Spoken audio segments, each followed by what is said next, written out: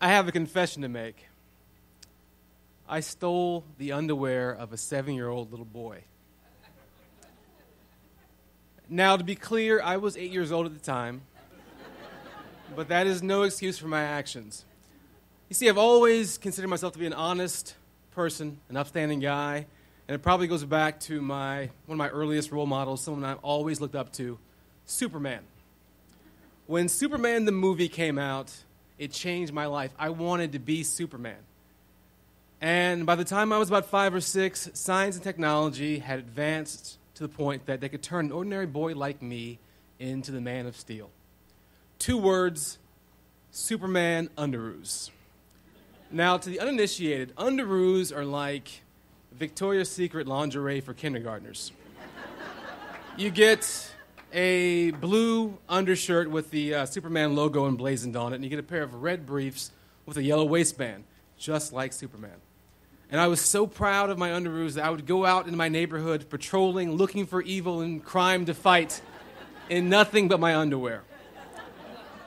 I would go to the supermarket and flash complete strangers with my S on my chest and my button up just so they'd know they were safe. I also had powers back then, but they weren't so super. I couldn't uh, leap a tall building in a single bound or wasn't faster than a locomotive, but I could talk to my imaginary friend Kato, who was a ghost that lived in my coffee table in my family room. I also had the superhuman ability to refuse to go outdoors and play and instead stay indoors and read the World Book Encyclopedia and play with my erector set. It was always easier for me to make friends with the people I found in my comic books and imagination versus those in real life. And so I was definitely more Clark Kent than Superman back then. And the notion of going to summer camp uh, was very exciting, but also a bit scary. Uh, I, when I got to summer camp, I realized that I didn't know anyone else there, and a lot of the kids had been going there for years.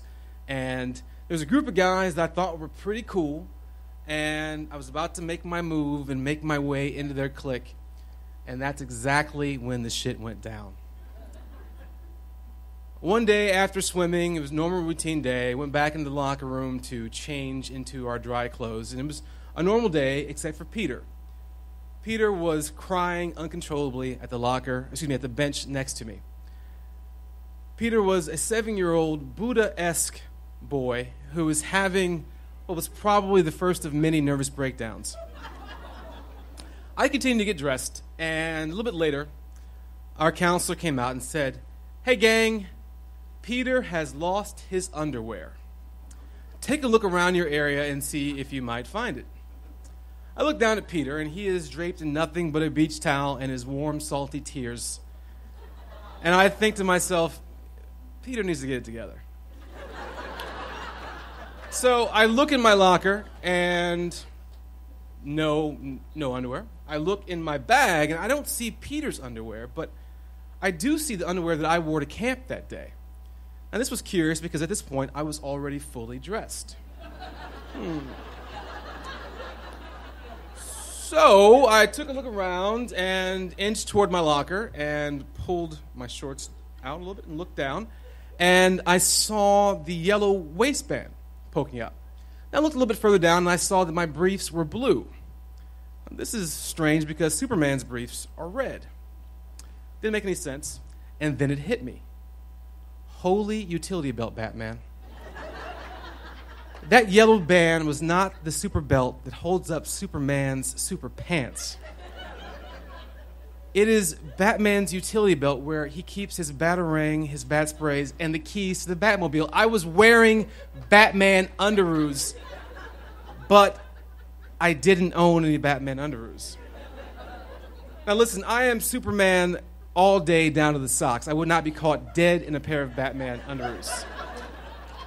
Except there I was, sweating and panicking and about to shit what were apparently Peter's panties, a pair of Batman underoos.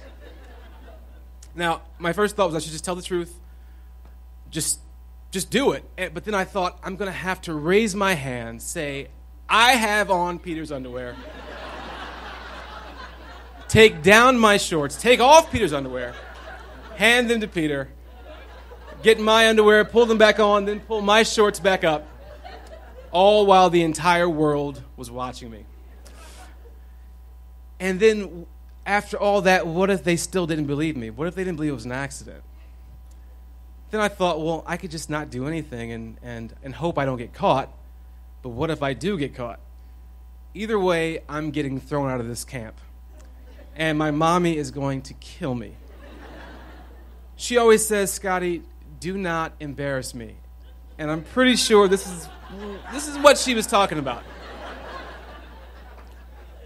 And then those guys that I'm, I was really close to getting in with, they're never going to want to hang out with me. I'm going to have to eat lunch by myself the rest of my life. Oh my God, it's, it's almost lunchtime. Peter had been wearing those underwear for at least three or four hours before swimming. His bathing suit parts were in where my bathing suit parts currently are. It's like our bathing suit parts are touching. Gross. Now, I know what Superman would do. Superman would tell the truth. He always tells the truth. And so that's what I should do. Just tell the truth, confess, get it out of the way, and at the very least, I'll be able to take these nasty draws off. But I couldn't do it. I just couldn't do it. I didn't want to get in trouble, and I didn't want to be known as the dirty underwear boy for the rest of my life. So I didn't say anything, and I snuck out of the locker room and prayed they didn't do a strip search. Meanwhile, Peter well, Peter had to go the rest of the day al fresco. He had to freeball his way through horseback riding and go commando at archery. And I have felt bad about it ever since, but I am glad that I was able to get it, get it out tonight. And Peter, if you're out there,